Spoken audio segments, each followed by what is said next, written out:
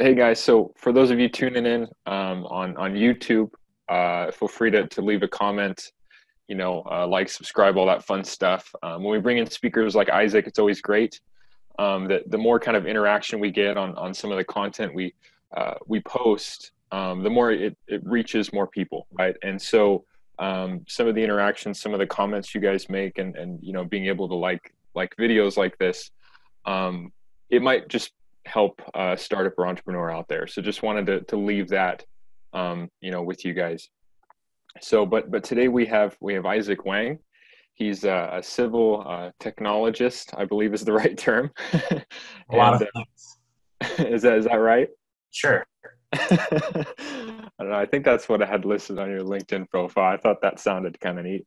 Um, but anyways, so I'll, I'll, let him kind of have the floor. He can tell a little bit more about himself, and uh, I know we got some great stuff planned, and he's got some great insight he wants to share with everyone. So we're excited. Sure, sure. Uh, did you just want a quick introduction, and then you continue to ask questions, or did you just want me to do? Yeah, why don't you why don't you tell a little bit about yourself for for those who are on or those who are tuning in that, that don't know you very well. Okay, sounds good. Uh, so name's Isaac Wang. Uh, I came to San Diego after graduating from Duke University with a degree in public policy studies. Uh, as a surface warfare officer for the United States Navy for about four years. Got out in 2014. Uh, initially was working as a defense contractor at Booz Allen Hamilton. Uh, then decided to go pursue entrepreneurship, selling uh, specialty coffee to service members overseas. Um, after that, I went to go study urban planning. Uh, got got a little certificate from Harvard Graduate School of Design I then did a little bit of work in active transportation planning. That that's sort of when I started working on some things related to GIS, geographic information systems. Uh, had met Curling, had, you know, tried to build up a, a GIS startup of my own and called it GIS Sexy. And uh, this startup was basically trying to, you know, find like design better software uh, that does a lot of what Esri's ArcMap would do, except with a easier to use like interface. Uh, and so did that for a little bit, uh, and then I decided to just go run for office because uh, I was really interested in a lot of the the work that I was doing for active transportation. So ran for San Diego City Council this past election cycle. Um, did not get past the primary, unfortunately. Got third place, but I needed to get one or two. Uh, so now I work at the San Diego County Taxpayers Association, where we do a lot of just analysis and research um, just on a variety of like topics that impact local taxpayers.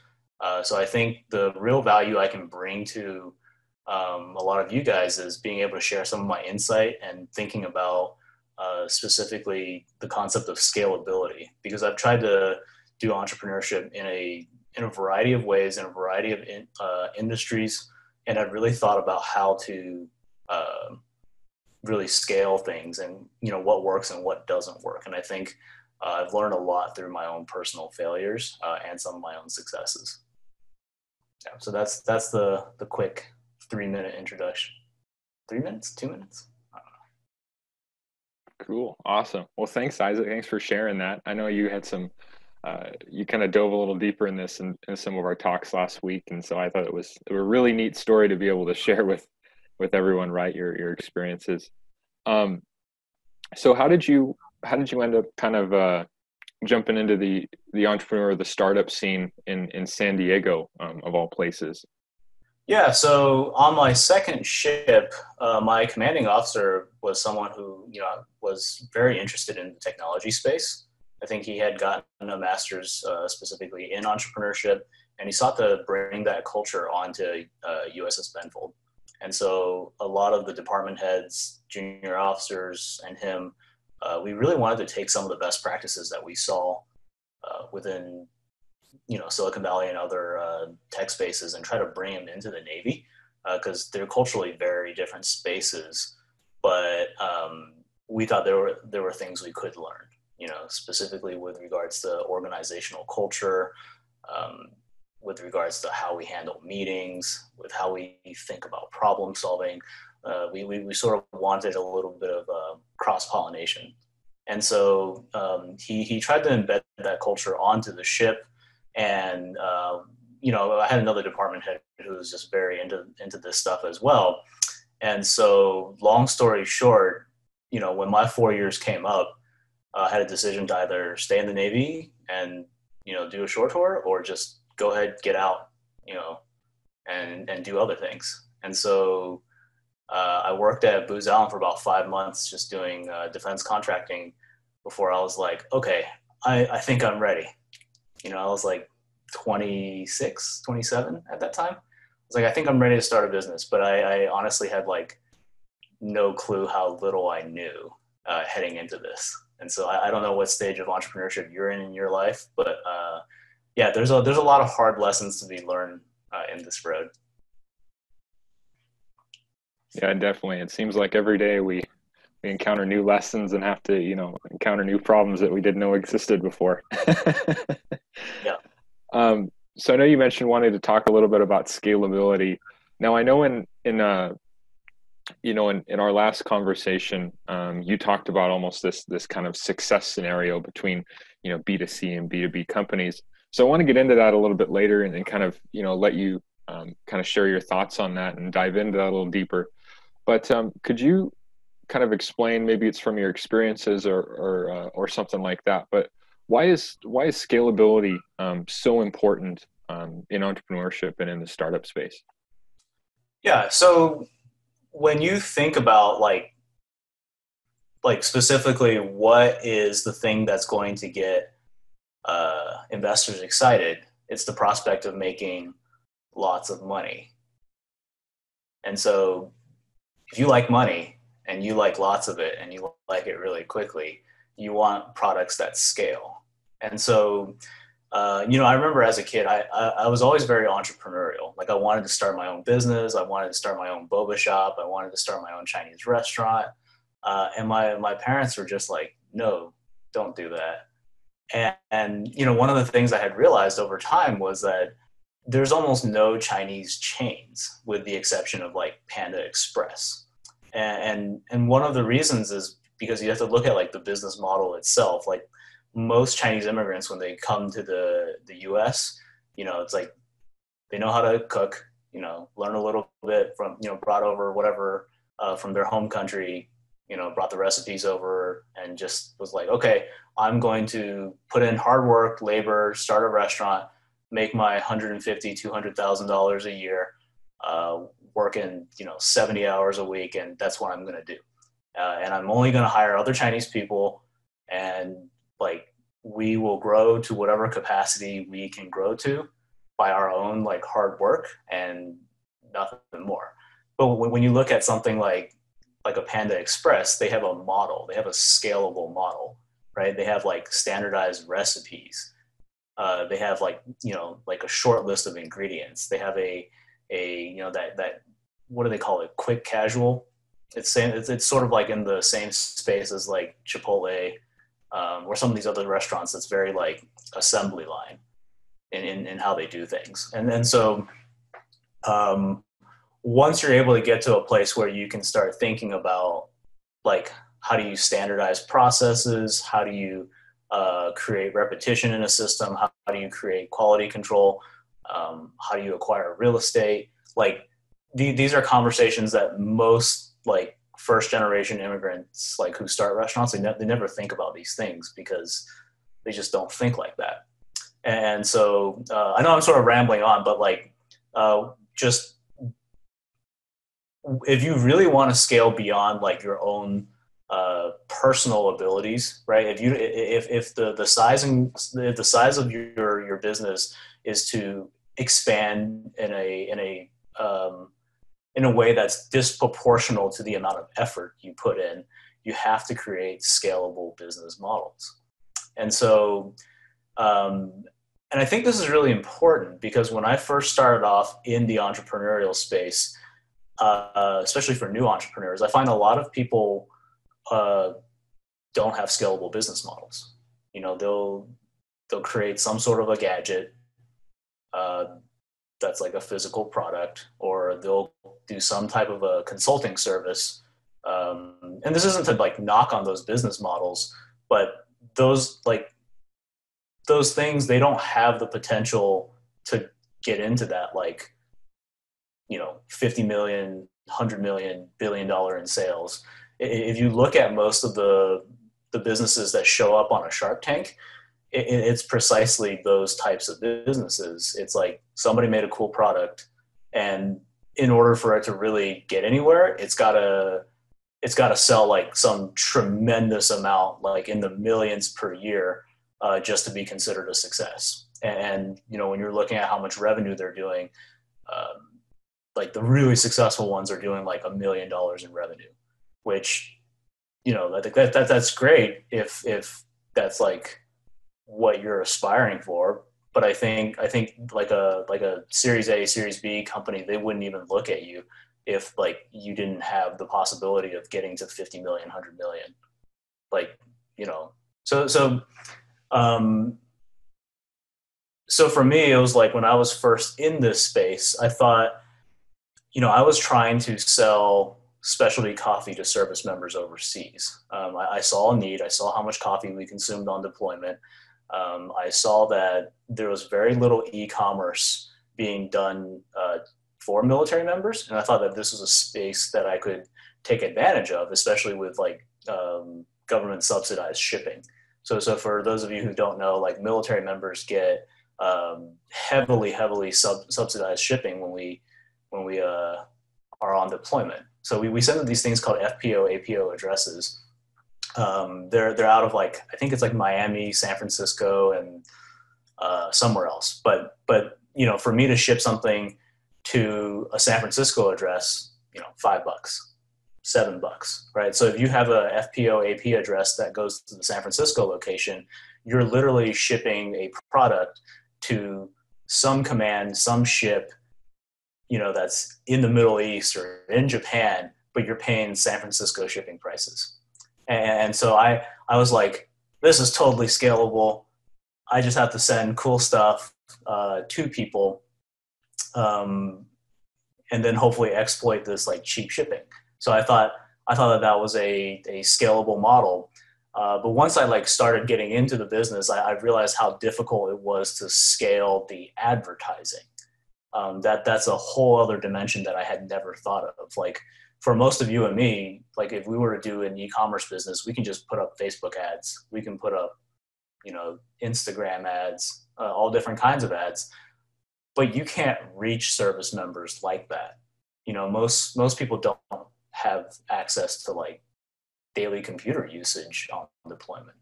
Um, it was, and when I tried to, you know, like uh, market to families, market to um, different spouse organizations, they were very strict about what type of people they let into their circles. It, it just wasn't. Um, it, it was just far more difficult than I thought. And I realized that for all the organizations and companies that were selling um, products to the military, they had to go through very, very defined um, paths to actually get you know access to that market. Like it, it's not a uh, if, if I were to like dumb this down, I, I'd say it's not it's not a free market, right? It's a it's a highly protected market that you have to navigate through um, the bureaucracy, you have to navigate through the protectionism to get access to that market. And so the level of effort that was necessary to do that um, was a lot. And, and, so for me, I had to I had to sit there and literally calculate the numbers in my head, thinking, you know, what is like what do I have to do to get a customer base? Um, you know, how, how would I be doing marketing? how much am I spending on marketing, like like the customer acquisition cost, right? And then like um, factor my customer acquisition cost with my margins. You know, how much it was going to cost to procure my products, how much it was going to cost to like package it, how much it was going to cost to ship it uh, and advertise it. Um, you know, when I started actually running these numbers, it became very, very clear to me uh, that I would have to sell like like a million bags of coffee a year, you know, and have my hair turn gray just to like, you know, get the same amount of money that I would have working at Booz Allen, right? Working at a defense contractor where I can just chill and like, you know, work with 50% effort and get like defense contractor money. And so, so I think, I think a lot of people uh, who who go into entrepreneurship when they when they like don't think about these things. Um, like in my case, it was too late. I already quit my job to go chase my dream, right? Uh, but like, if you don't like calculate these these percentages and you don't think about how do you scale your production, how do you scale your distribution, how do you scale your marketing, um, these things don't they don't pan out. Um, so just to kind of like continue on that, you know, when I when I first started coming to San Diego's like startup events, um, and I started seeing who all was attending and who all was engaging, and it, it um, I realized that through talking to a lot of people that I didn't meet a whole lot of entrepreneurs. What I met was a whole bunch of people trying to sell me services um, in the entrepreneurial space. So people, you know, for every entrepreneur out there, there's a million people trying to sell him websites. There's a million people trying to sell him SEO services. There's a million people trying to sell, you know, email services. So there, there's a there's an entire I, I call this like a startup industrial complex um, universe out there of people trying to sell products just to other entrepreneurs, other businesses. And I, I realized that, like, okay, assuming I made zero dollars on my startup, I would still have to shell out tens of thousands of dollars to these website makers, to these SEO companies, to these graphic designers, to the entire industrial complex. And and you know the and the more I thought about it, the more I realized like, oh, the money is literally the money is really in B2B. Like business to business means you can sell things in volume to fewer like people and have much what like larger margins. And, and, like when that light bulb went off in my head i was like why am I just dying over here trying to sell, you know, enormous amounts of product at enormous volumes to enormous amounts of people at super low margin when I could probably go in the software space, find like 10 clients and make like a couple hundred thousand dollars a year. Just like the that that sort of um, I, I don't want to like I, I don't want to make it seem like it's easy to do B2B software, but when I started looking at how tech companies we know today monetize, you know, when you when you look at like how Facebook makes money, how Twitter makes money, how Slack makes money, how Airtable makes money, how Tableau makes money. Uh, you know, the, the, the really large successful companies, they're selling enterprise software, software that businesses can use to help them improve their daily operations and make more money. Like the really large, successful tech companies don't sell to like individual people, uh, with the exception of like Amazon, of course, right? Um, but Amazon, Amazon's providing a product that takes a cut of every transaction, uh, and that cut is taken from businesses. Um, so, so that's sort that's sort of like one of the things I kind of wanted to like just uh, indoctrinate in your head just something to think about because it's like when you look at our society and you look at what types of companies can succeed and cannot succeed um, there's a lot of structural forces that that, that constrain that um, when you look at like physical products you know if you're if you're in the the specialty food space unless you get access um, like to gigantic distributors uh, you're never going to be able to scale your product like to the millions of units, right? To the tens of millions of units. And so once you gain access to that, that distribution, like it usually means that they already bought you out, acquired you, or you signed some sort of a deal. But regardless, like you're not the person who's holding uh, a majority share of that organization anymore.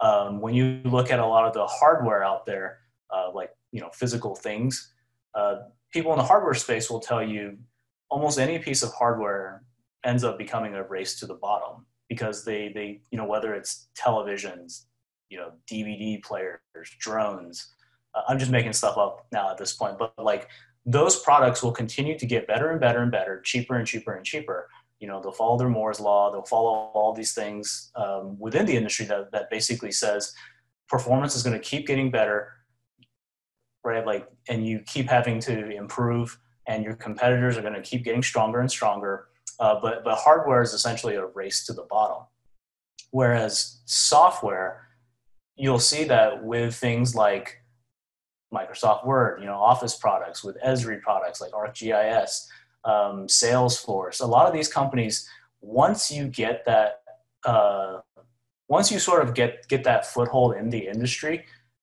nobody wants to pivot. They would rather hold on to legacy software for decades and decades and decades than like try something new, because other like there's a learning curve to it. Like even if you created like a Microsoft Excel that was 10,000 times better than Excel, everybody knows Excel. They don't want to pivot from Excel, right? Um, and th- this kind of goes for, for, for a lot of uh, software products, but um, but still in general, if you were to move into something that, that wasn't quite like anything else already on the market, your ability to scale these products um, to businesses is very easy because once you've built the software, like aside from advertising and aside from like maybe infrastructure maintenance, like you don't you don't have to put in nearly the same amount of work to to to scale it uh, because it's just it's it's it's on the internet. You, you, just hit that download button, right?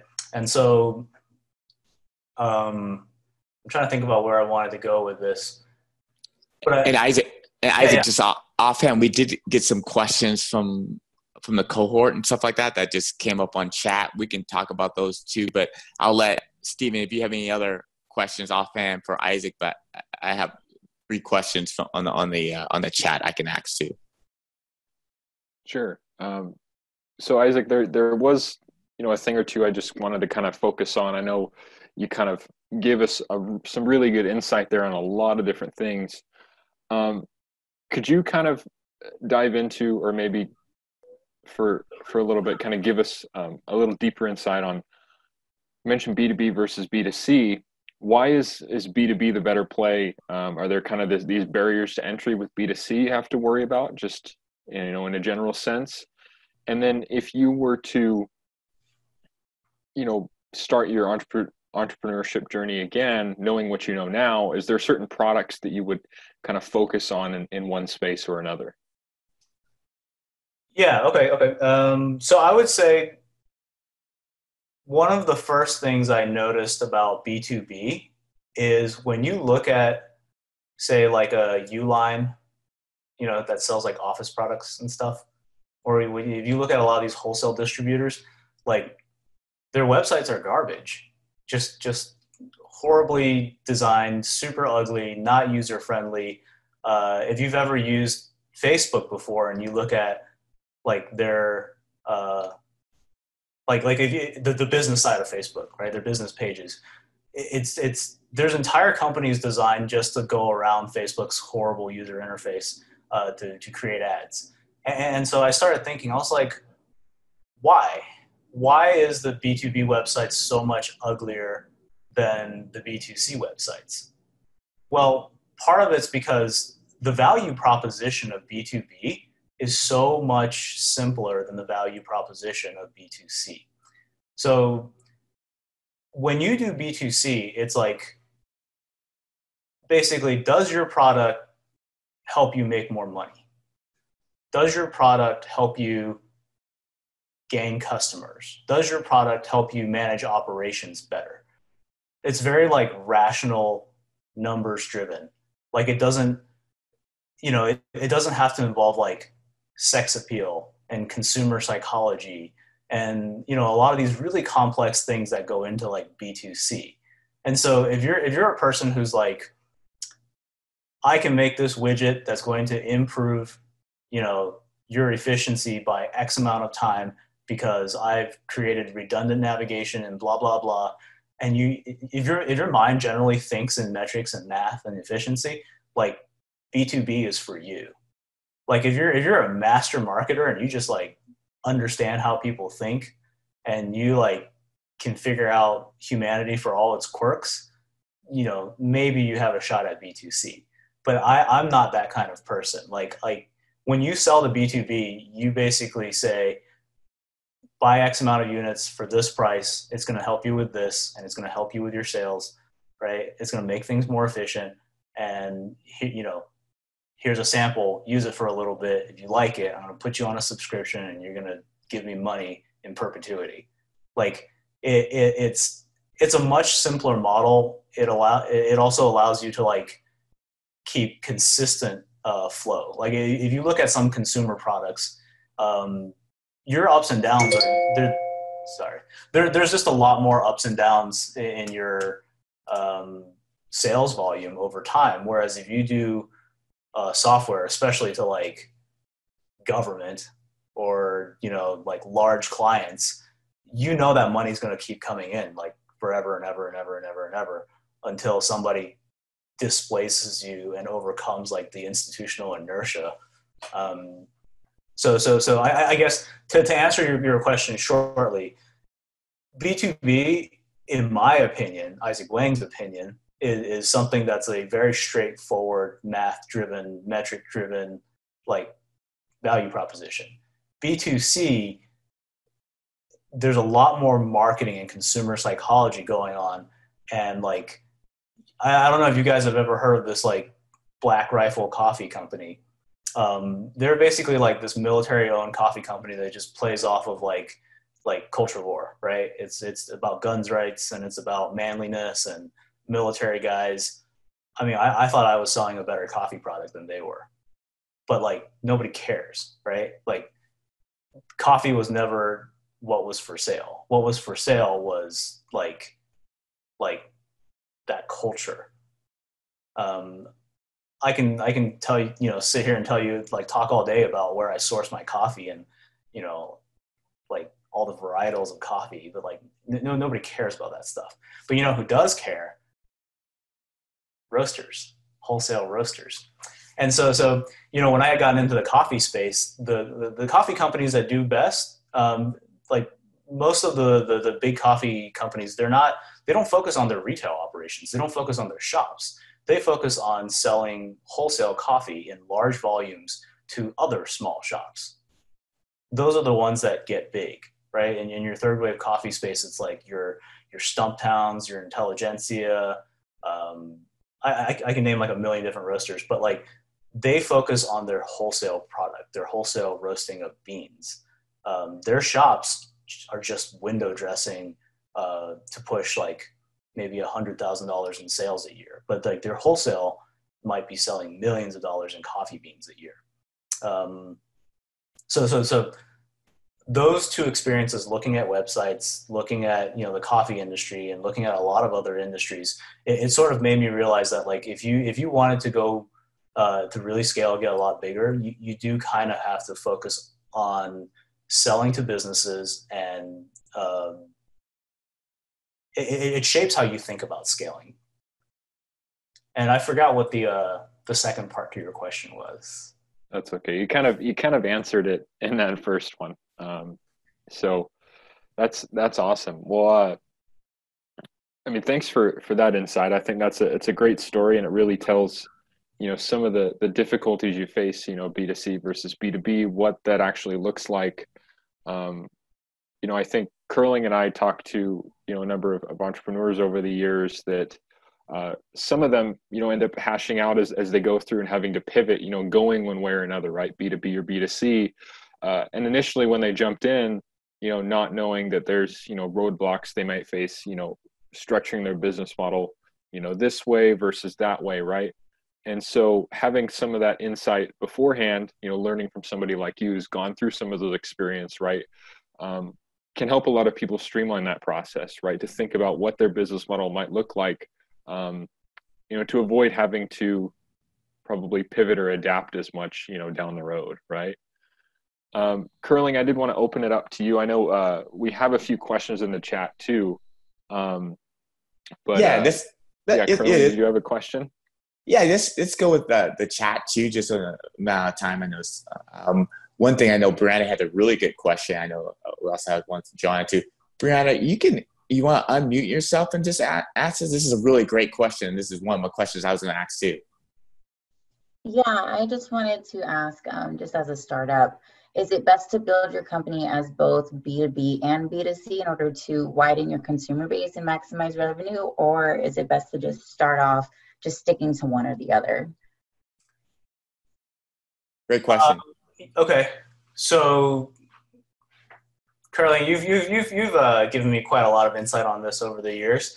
It's during your design process when you're doing your journey mapping and when you're building your product.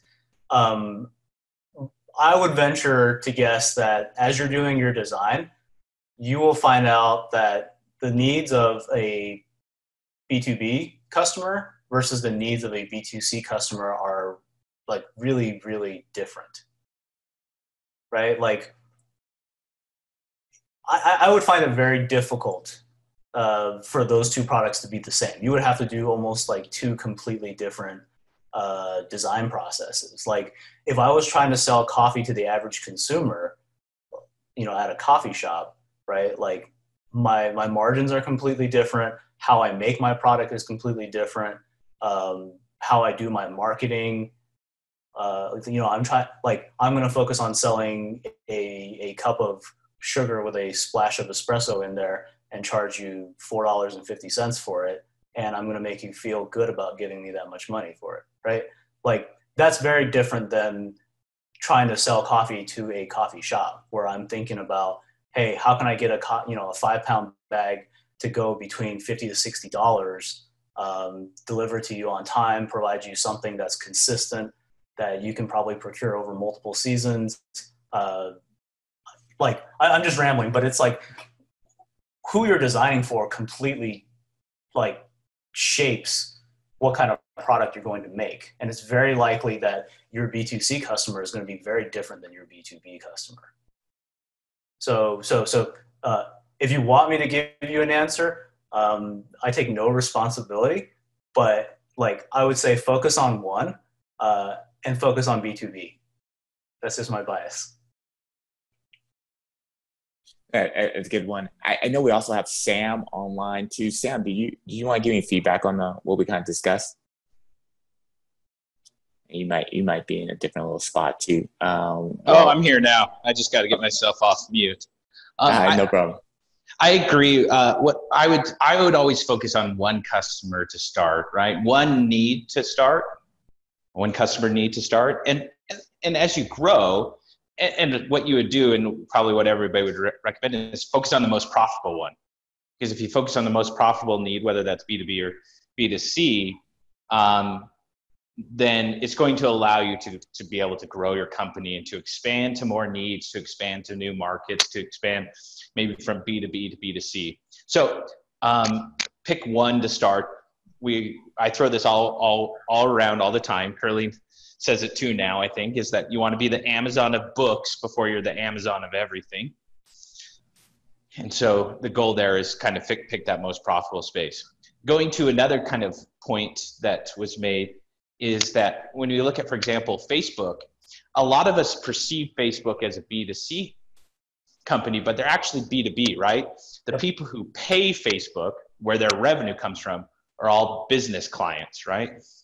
Uh, we get it as uh, as a we're not necessarily customers as we are more partners of Facebook. Uh, Facebook needs us so that they can sell advertisements to businesses.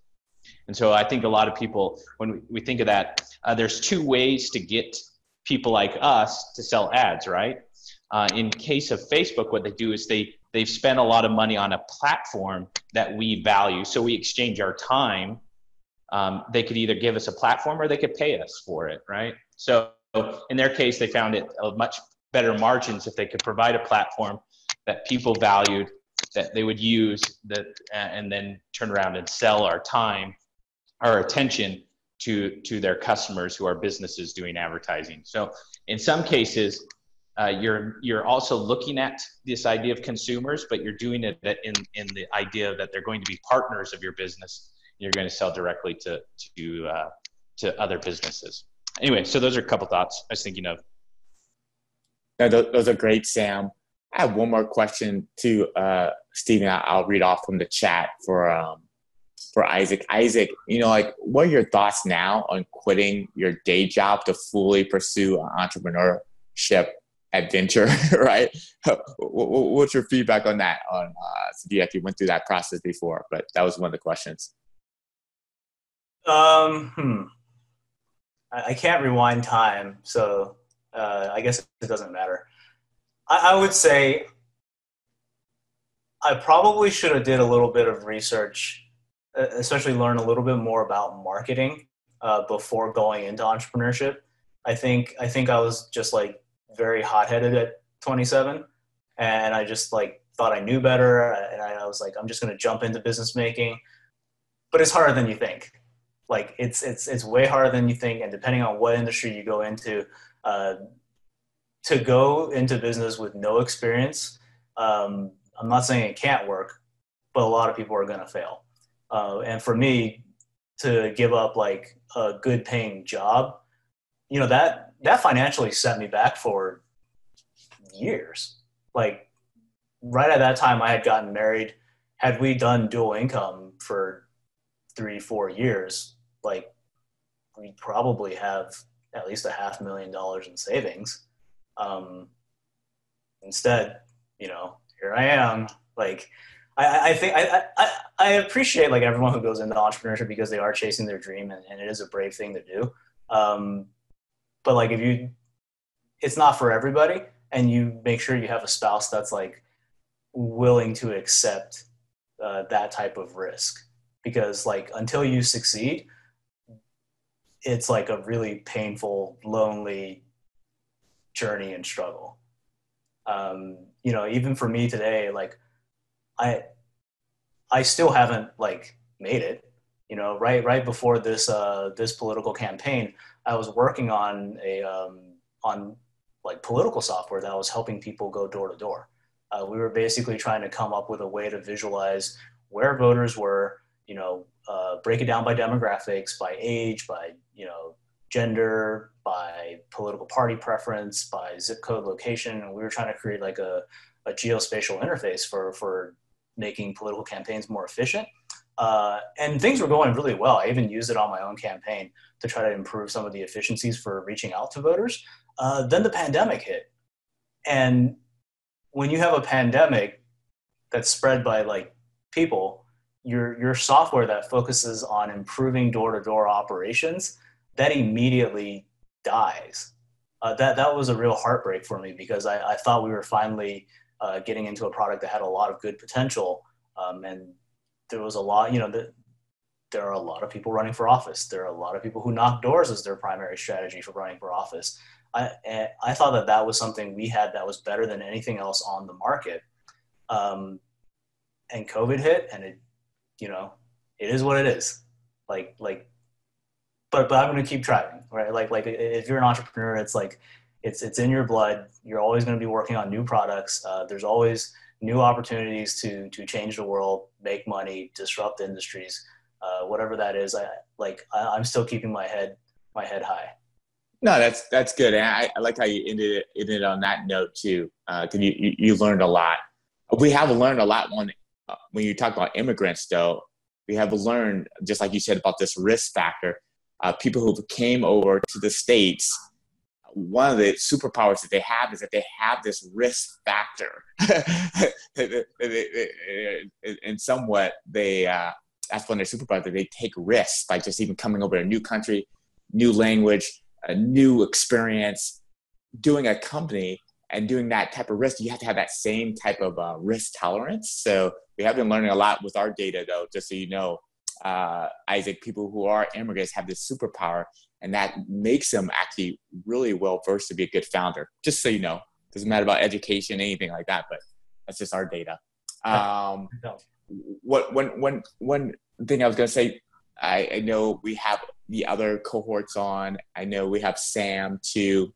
Sam, one thing I was to ask you too. I know you were talking about the innovation challenge. We'll we'll save that to the end. But do you have any final thoughts, Sam, and I'll give you some final thoughts. Uh, to I, I, uh, I was just going to ask Isaac one question because uh, you know he he was he described that first experience of selling coffee, and that the challenge there were two two challenges. One was marketing, and and I think that's always uh, a challenge of businesses is a, uh, getting people to bump into your business because you know the, the value I, I it sounds like the value was there right? The, the amount of coffee that that uh, the military members drink is high. Um, the access to quality coffee might be low. So so there was that that the, the need there. The marketing was challenging. That was one thing he addressed. But he also addressed or was talking a little bit about the challenges in his business process. How do you fulfill all those orders and and make it a, a, possibility to run this business and scale this business. I was just wondering, looking back now, maybe as you ex, you experience, you know, gone through this entrepreneurial process a number of times, do you feel like if you were to go back to that business, there would be new technologies, new um, tools to use to maybe improve that process? Is it something that that like experience ha- would reshape how you approached the, that fulfillment? Or is it something that would is still too difficult uh, with current technology? Yeah, so I, I would say um, one, I think everyone should read this book uh, called I think it's called like Bullseye or something by Gabriel Weinberg. Um, do you know which one I'm talking about, Curling? It's yes, like, but I can't about, remember the. Yeah, I know. I know yeah, it's about marketing. It talks. He, he has this thing called a Bullseye method. Um, that's about like targeted how to, how to do marketing and iterate and figuring out which strategies work for you. Uh, I, I, think for me, my biggest lesson learned. Um, sorry, I, am trying to remember why I mentioned Gabriel Weinberg. So in in his his uh, book, he talks about doing product development and marketing concurrently. Uh, a lot of people they build a product first, then they realize that they never thought about the marketing and like they can't actually market it, even if it's a product that people want um, or it's like you know you just built the wrong product. But the, uh, when you're doing like your your journey mapping and you're trying to understand your customer really well, um, there needs to be a lot of due diligence put into that process. Like I, I don't think I don't think I thought about how difficult it was to like make coffee on a ship. You know, like like during deployment, I recall having this French press, and whenever the ship would like you know start moving around like the french press starts moving right? You know when i was showering the water on my fr- on a frigate would just go from scalding hot to freezing cold. Uh, it, it was really strange but like like the process of making coffee was really hard like stuff is going everywhere like people don't want to do that. Like they just they just don't and a lot of people don't have access to boiling water. Um, a lot of people don't have access to quality grinders.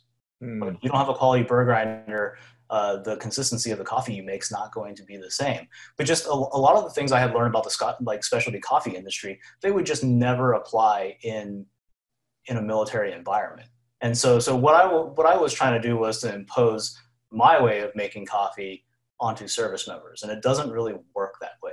You have to like, you know, think about it where, where, where they're coming from, what their like experience is like, and then you sort of have to, to, to mold to them, to mold to your customer. Um, I, I don't think I thought through that process enough before I quit a high paying job and, you know, jump to go chase my dream. So, so if, if I was to do it again, I would probably have, you know, done that due diligence um, in, in trying to understand my customer. I probably would have realized that there was no hope and I probably would have never done the business to begin with. But I think that would have saved me two years of my life, a lot of salary, a lot of heartache, uh, and, you know, but but like it, it doesn't matter. It's done. Like I'm still alive. I'm still kicking. I'm still happy. Um, but th- those were those were like two very painful years of my life because I hadn't done the things that curling told me to. I, I, I have the same experience. You know, the way we start businesses today is so much more efficient and thought out than we did. You know, when I started a first business about what 2008, 2009, you know, we, we wasted a million dollars before we realized our business model was wrong and the way people customers buy isn't necessarily what we thought. And and we never asked anybody. We just tried to, like you said, impose our our methodologies onto our customers and, and it backfired and it took uh, a lot of learning and you know we were able to recover from that but uh, same same experience like the way we do things now is much better yeah were there other parts to your question sam that i didn't address i, I can't remember now. no i think it's right i, I think you you described it. There, there's an there's generally an interest but the whole customer mapping the process mapping you, you realize in the end that you, you you couldn't solve all the problems with just selling coffee, right? You talked about the ship having all that is it, it's much a, a, much bigger challenge than just hey buy a bag of coffee uh, you, to enjoy. So makes sense now. Yeah, makes sense. Thanks, Isaac. Yep. Um, I, I, think a lot great. never thought through um, this stuff. So and I think I think at that time, drop shipping and the whole like subscription box business model was like very very popular. Um, but you know, a few people made it, but most people failed at it. Right? Like I think guys like your Dollar Shave Clubs and I forgot what some of the other ones were, uh, but they they've gone out of business since. Like the I think Amazon's just crushed everybody yeah, it's, it's, it's, definitely definitely a, a challenging market, but uh, maybe you you were ahead of the curve though, Isaac too. Sometimes uh, being ahead of it. and, and, I had an even harder challenge was um, if you go on a Navy ship, they're like at that time they were still using like Internet Explorer six. Yeah. The the internet was so slow that it would take you like three hours just to upload your Facebook feed, assuming you had internet access at all like the the technological challenges uh, were significant, and and I had to believe it or not, I had to actually uh, when I was trying to build the website, like my website developers were like, "Oh, let's add this function and that function and that function," and I was like, "No, can you figure out how to deliver like what needs to be there for like the lowest amount of like computing power possible?" So we had to literally like try to dumb down the website uh, to make it accessible to people on ships who had like super super low bandwidth. So you had some other challenges too that that maybe other people didn't have. Yeah, yeah. I, I think I think most people don't realize like how backwards a lot of the military is like, like you know.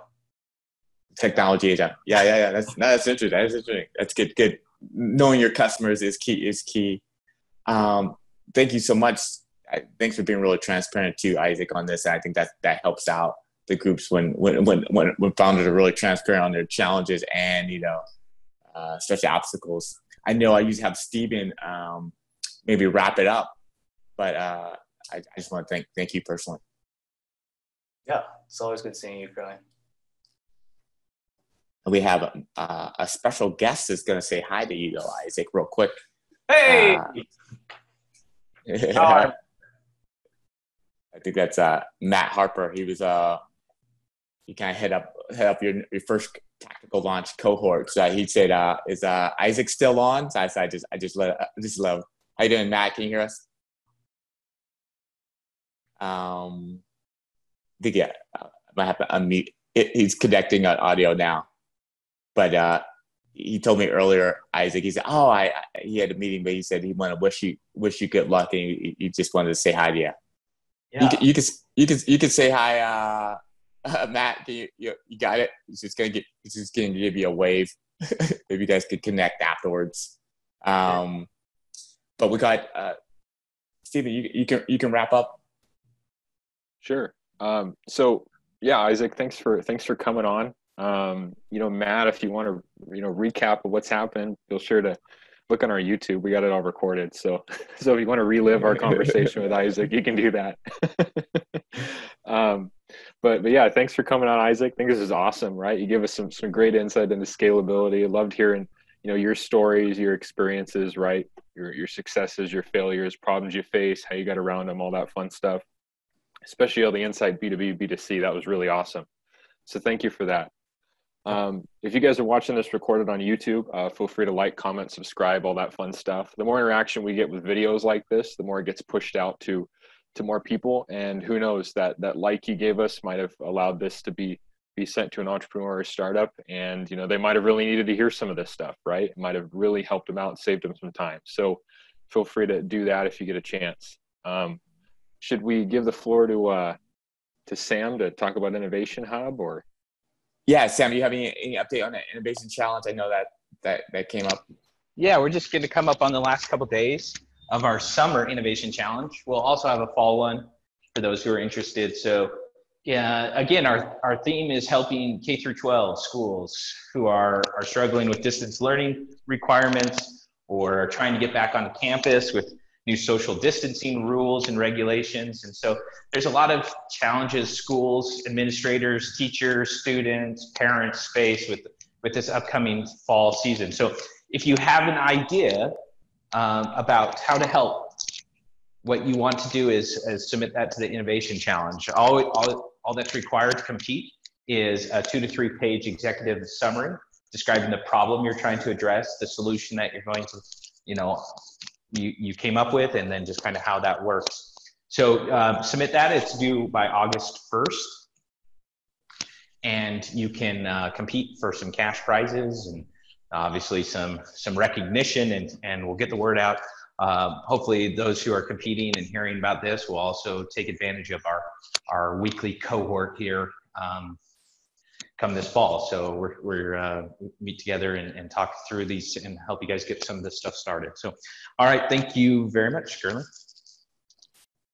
thanks sam oh sorry if you if you want to submit go to the csusm innovation hub just search that on Google. Um, you'll find the, the link to the challenge submission site.